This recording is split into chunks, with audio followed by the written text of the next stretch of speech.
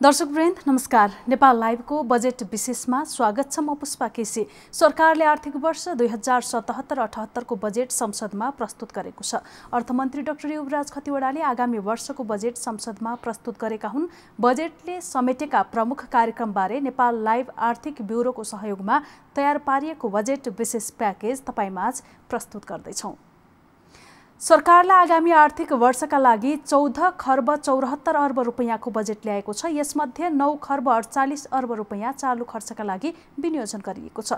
यस्तै पुँजीगततर्फ तिन खर्ब बाहन्न अर्ब एकानब्बे करोड र वित्तीय व्यवस्थातर्फ एक खर्ब बहत्तर अर्ब उनासी करोड रुपियाँ विनियोजन गरेको छ। आगामी आर्थिक वर्षमा आठ खर्ब उनानब्बे अर्ब रुपियाँ राजस्व सङ्कलनको लक्ष्य राखिएको छ। यसै गरी साठी अर्ब अनुदान प्राप्त गर्ने तथा दुई खर्ब उनान्सय अर्ब बाह्य ऋण लिइने अर्थमन्त्री डाक्टर युवराज खतिवडाले बताएका छन्। आगामी वर्ष दुई खर्ब पच्चिस अर्ब रुपियाँ आन्तरिक ऋण लिने घोषणा गरिएको छ। सरकारले चालु आर्थिक वर्षमा अन्ठाउन्न प्रतिशत पुँजीगत खर्च हुने अनुमान सार्वजनिक गरेको छ। अर्थमन्त्री खतिवडाले चालु वर्षमा दस खर्ब त्रिहत्तर अर्ब रुपियाँ बजेट खर्च हुने उल्लेख गरे। उनले चालु खर्च त्रिहत्तर प्रतिशत पुँजीगत अन्ठाउन्न दशमलव छ प्रतिशत र वित्तीय व्यवस्थातर्फ अठहत्तर प्रतिशत खर्च हुने बताए। खतिवडाले चालु आर्थिक वर्षमा आठ खर्ब सत्ताइस अर्ब रुपियाँ राजस्व सङ्कलन हुने संशोधित अनुमान पनि प्रस्तुत गरेका छन्। उनले चालु वर्षमा बत्तीस अर्ब रुपियाँ अनुदान र वैदेशिक ऋण एक खर्ब एक्काइस अर्ब रुपियाँ प्राप्त हुने बताए। यस्तै सरकारले समानीकरण विशेष र समपूरक अनुदानको अङ्क यथावत राखेको छ। नयाँ बजेटमा सशर्त अनुदान बढाइएको छ। यस्तै प्रदेशलाई पचपन्न अर्ब उन्नाइस करोड रुपियाँ समानीकरण अनुदान दिइने घोषणा छ। यसै गरी स्थानीय तहलाई यही शीर्षकमा नब्बे अर्ब पाँच करोड रुपियाँ दिइने भएको छ। अर्थमन्त्री खतिवडाले राजस्व बाँडफाँडबाट एक खर्ब बाइस अर्ब रुपियाँ उपलब्ध गराउने जानकारी गराएका छन्। यस्तै आगामी आर्थिक वर्षमा चालिस प्रतिशत जनसङ्ख्याको स्वास्थ्य बिमा गरिने भएको छ।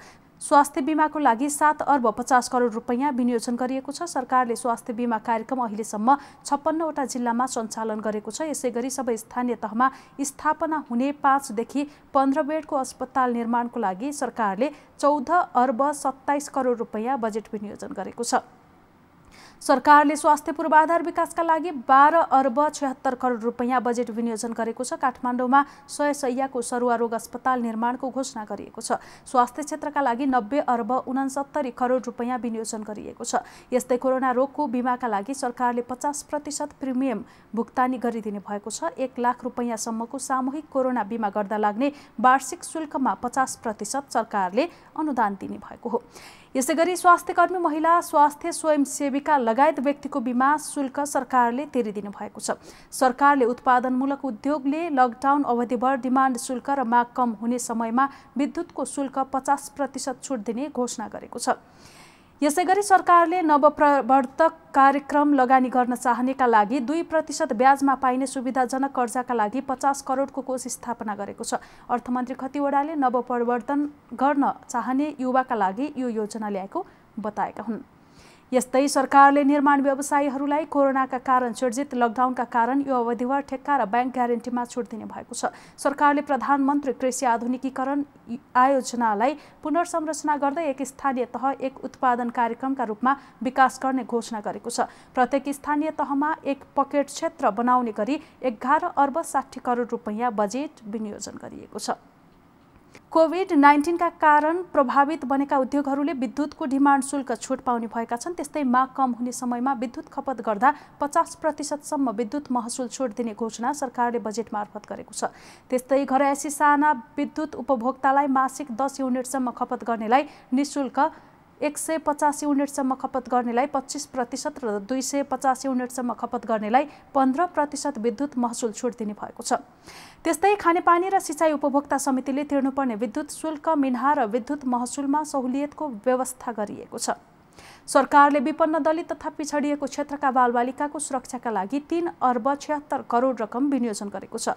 विपन्न दलित तथा पिछडिएको क्षेत्रका बालबालिकाको सङ्ख्या नेपालमा तेह्र लाखभन्दा बढिरहेको एक अध्ययनले देखाएको छ।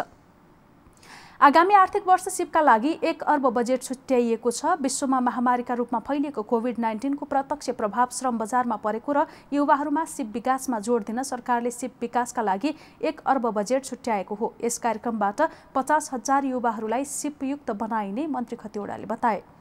यस्तै समृद्ध तराई मधेस कार्यक्रम अन्तर्गत स्यालो ट्युबवेल र डिप ट्युबवेलका लागि दुई अर्ब बत्तीस करोड विनियोजन गरिएको छ। महाकाली सिँचाइ आयोजनालाई दस अर्ब विनियोजन गर्दै राष्ट्रिय गौरवको आयोजनाका रूपमा अघि बढाउने सरकारले घोषणा गरेको छ। सरकारले महिला स्वास्थ्य स्वयंसेविकाको यातायात खर्च बढाएको छ। बाहन्न हजार स्वयंसेविका लाभान्वित हुने गरी सरकारले यो घोषणा गरेको हो। यसै गरी सरकारले सबै जिल्ला मालपोत कार्यालयलाई विद्युतीकरणमा लैजाने भएको छ। नापजाँच गर्न छुट भएका जग्गाको नापजाँच सक्न एक अर्ब त्रिहत्तर करोड छुट्याइएको छ। यस्तै कृषि बाली तथा पशुपक्षी बिमाको दायरा थप विस्तार गरी जोखिम न्यूनीकरण गर्न बिमा प्रिमियम अनुदान रकममा वृद्धि गरिएको छ। बाली बिमा गर्दा प्रिमियम बापत कृषकले तिर्नुपर्ने रकम बाली उत्पादन भएपछि तिर्ने सुविधा उपलब्ध गराइनेछ। गत आर्थिक वर्ष बाली तथा पशुपक्षी बिमा कार्यक्रम अन्तर्गत लाग्ने बिमा शुल्कको पचहत्तर प्रतिशत अनुदान दिने व्यवस्था गरिएको थियो।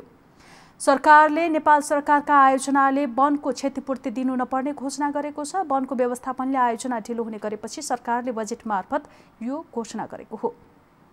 यस्तै सरकारले कोरोना भाइरसको कारण प्रभावित परेको पर्यटन उद्योगको रक्षाका लागि भन्दै देश दर्शन अवधारणा अगाडि सारेको छ। सरकारले कोभिड नाइन्टिनका कारण प्रभाव परेको पर्यटन क्षेत्रको विकासका लागि आवश्यक पूर्वाधार विकासका लागि एक अर्ब छब्बिस करोड रुपियाँ विनियोजन गरेको छ। सरकारले स्वदेशी कच्चा पदार्थमा आधारित उद्योगलाई प्रोत्साहन गर्ने घोषणा गरेको छ। यसै गरी औद्योगिक क्षेत्र र उद्योग ग्राममा स्थापना हुने उद्योगीलाई कर मार्फत थप सहुलियत दिइने अर्थमन्त्री युवराज खतिवडाले घोषणा गरेका छन्। सुरक्षाकर्मीसहितका राष्ट्र सेवकले प्रयोग गर्ने कपडा जुत्ता उत्पादन स्वदेशमै उत्पादन गर्ने व्यवस्था मिलाइने पनि घोषणा गरिएको छ। औद्योगिक क्षेत्र र ग्रामका लागि दुई अर्ब तिस करोड रुपियाँ विनियोजन गरिएको छ। राष्ट्रपति चुरे संरक्षण कार्यक्रमको पुनर्संरचना गरी भूक्ष नियन्त्रण क्षतिग्रस्त भूमिको पुनर्स्थापना कृषि वन बायो इन्जिनियरिङ सहितको तटबन्ध कार्यक्रमलाई तीव्रता दिइने भएको छ। यसका लागि एक अर्ब पचपन्न करोड रुपियाँ विनियोजन गरिएको छ। कृषि ऋणमा सहज पहुँच पुर्याउन आगामी आर्थिक वर्षदेखि सरकारले कृषक क्रेडिट कार्डको व्यवस्था सुरु गर्ने भएको छ। कृषि ऋण सहज बनाउन सबै किसानलाई क्रेडिट कार्ड दिने योजना सरकारले ल्याउन लागेको हो। यसै गरी आगामी आर्थिक वर्षबाट नवलपरासीको धौवादीमा रहेको फलाम खानीबाट उत्पादन थालिने भएको छ। धौवादीमा रहेको फलाम उद्योगका लागि आवश्यक पहुँच मार्ग र सबै पूर्वाधार तयार पारी उत्पादन थालिने घोषणा अर्थमन्त्रीले गरेका हुन्। सरकारले आगामी वर्ष रोजगारी सिर्जनाका लागि बैङ्कहरू मार्फत सहुलियत कर्जा प्रभावलाई थप सहज बनाउने व्यवस्था बजेटमा गरेको छ। रोजगारी सिर्जनाका लागि प्रत्येक वाणिज्य ब्याङ्कको एउटा शाखाले दसजनालाई सहुलियत ऋण उपलब्ध गराउनु पर्ने व्यवस्था सरकारले गरेको छ। यस्तै विकास ब्याङ्कले प्रति शाखा पाँचजनाको दरले सहुलियतपूर्ण कर्जा उपलब्ध गराई थप रोजगारी सिर्जना गर्न नेपाल राष्ट्र ब्याङ्क मार्फत आवश्यक व्यवस्था गर्नुपर्ने व्यवस्था आगामी आर्थिक वर्षको बजेटमा उल्लेख गरिएको छ। सरकारले सार्वजनिक विद्यालयको स्तर उन्नतिका लागि एक निजी विद्यालयले एक सरकारी विद्यालयको सुधारमा सहयोग गर्नुपर्ने भएको छ। सार्वजनिक विद्यालयहरूको शैक्षिक स्तर सुधारका लागि सरकारले यस्तो कार्यक्रम ल्याएको हो। यस्तै सरकारले माध्यमिक तहमा अध्ययनरत छात्राहरूलाई निशुल्क रूपमा सेनिटरी प्याड वितरणका लागि एक अर्ब बयासी करोड विनियोजन गरेको छ। यसबाट करिब तेह्र लाख छिहत्तर हजार छात्राहरू लाभान्वित हुने सरकारको दावी छ। सरकारले काठमाडौँ उपत्यकाको ढल निकास व्यवस्थापनका लागि पाँच अर्ब उनानब्बे करोड रुपियाँ बजेट विनियोजन गरेको छ। सरकारले आगामी आर्थिक वर्षमा कोटेश्वर कलङ्की सडक खण्डमा नेपालमै पहिलो पटक फ्लाइओभर निर्माण गर्ने भएको छ। यसै गरी आगामी आर्थिक वर्षमा राष्ट्रिय गौरवका पश्चिम सेती जलविद्युत आयोजना र बुढी गण्डकी जलविद्युत आयोजना निर्माणको मोडालिटी तय गर्ने घोषणा गरिएको छ। निर्माण ढाँचा नै तय नभई अन्यलमा रहेका सात सय पचास र बाह्र सय मेगावट क्षमताका दुवै राष्ट्रिय गौरवका आयोजनाको निर्माण ढाँचा तय गर्ने घोषणा बजेट मार्फत गरिएको छ। यस्तै हाल त्रिचालिस जिल्लामा लागू भएको दिवा खाजा कार्यक्रम देशभर विस्तार गरिने भएको छ। त्यसका लागि सात अर्ब बाहन्न करोड रुपियाँ विनियोजन गरिएको छ। यसबाट आठ लाख बालबालिका लाभान्वित हुने सरकारको अनुमान छ। सरकारले स्थानीय पूर्वाधार साझेदारी कार्यक्रमको रकम घटाएको छ। चालु वर्षसम्म प्रत्येक निर्वाचन क्षेत्रका लागि छ करोड रुपियाँ विनियोजन हुँदै आएकोमा त्यसलाई चार करोडमा झारिएको हो। यो कार्यक्रमका लागि छ अर्ब साठी करोड रुपियाँ विनियोजन गरिएको छ। यसै गरी आगामी आर्थिक वर्षमा एक हजार आठ सय विद्यालय भवन र अडतिस आङ्गिक क्याम्पसको भवन पुनर्निर्माण गरिने भएको छ। दुई हजार पाँच सय बिस कक्षा कोठा एक एक हजार सङ्ख्यामा विज्ञान प्रयोगशाला पुस्तकालय ल्याब निर्माणको लागि बजेट विनियोजन गरिएको छ। छात्रवृत्ति कार्यक्रमलाई एकीकृत रूपमा सञ्चालन गरिने भएको छ। विपन्न अपाङ्ग सहितको बालबच्चा र जेहेन्दार गरी छब्बिस लाख विद्यार्थीलाई छात्रवृत्ति दिइने भएको छ। त्यसका लागि दुई अर्ब सत्तरी करोड रुपैयाँ विनियोजन गरिएको छ। सामुदायिक विद्यालयमा अध्ययनरत तेह्र लाख चालिस हजार छात्रालाई सेनिटरी प्याड निशुल्क वितरण गर्न स्थानीय तहलाई सशर्त अनुदान प्रदान गरिने भएको छ। शिक्षा विज्ञान तथा प्रविधि मन्त्रालयका लागि एक खर्ब एकहत्तर अर्ब एकहत्तर करोड बजेट विनियोजन गरिएको छ। यो रकम गत वर्षको भन्दा आठ अर्ब बढी हो। सरकारले प्रत्येक निर्वाचन क्षेत्रभित्र निर्वाचन क्षेत्र रणनीतिक कार्यक्रमका लागि तीन अर्ब तिस करोड रुपियाँ बजेट विनियोजन गरेको छ। निर्वाचन क्षेत्रभित्रका रणनीति सडकका लागि यो रकम विनियोजन गरिएको हो।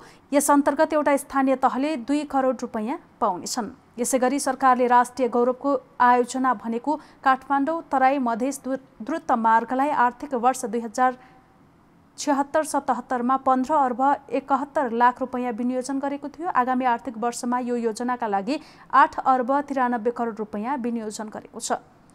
यसै गरी निर्माणाधीन महाकाली नदीमा चार लेनको मोटरेबल पुल निर्माण कार्यलाई निरन्तरता दिन अठासी करोड रुपियाँ रकम विनियोजन गरिएको छ। चालु आर्थिक वर्षको बजेटमा नब्बे करोड रुपियाँ विनियोजन गरिएको थियो। यस्तै सरकारले चार अन्तर्राष्ट्रिय विमानस्थलका लागि उन्नाइस अर्ब बयालिस करोड रुपियाँ बजेट विनियोजन गरेको छ। आगामी वर्ष खर्च गर्ने गरी निजगढ अन्तर्राष्ट्रिय विमानस्थल पोखरा क्षेत्रीय अन्तर्राष्ट्रिय विमानस्थल गौतम बुद्ध अन्तर्राष्ट्रिय विमानस्थल र त्रिभुवन अन्तर्राष्ट्रिय विमानस्थलको स्तर उन्नतिका लागि यो रकम विनियोजन गरिएको हो। सरकारले प्रधानमन्त्री केपी शर्मा ओलीको जन्मथलो तेह्रथुम चुहान डाँडामा आन्तरिक विमानस्थल निर्माण गर्ने भएको छ। अर्थमन्त्री खतिवडाले तेह्रथुमको चुहान डाँडामा आन्तरिक विमानस्थल निर्माणको अध्ययन गर्ने गरी बजेट व्यवस्था गरेका हुन्। यस्तै सरकारले गरिब र विपन्न परिवारलाई विद्युत जडान निशुल्क गर्ने घोषणा गरेको छ। सरकारले प्रदेश नम्बर दुई बागमती प्रदेश गण्डकी प्रदेश र प्रदेश नम्बर पाँचका सबै ठाउँमा आगामी आर्थिक वर्षभित्रै विद्युत सुविधा पुर्याइसक्ने लक्ष्य लिएको छ। ग्रामीण विद्युतीकरणमा आगामी आर्थिक वर्षका लागि सरकारले चार अर्ब रुपियाँ बराबर विनियोजन गरेको छ।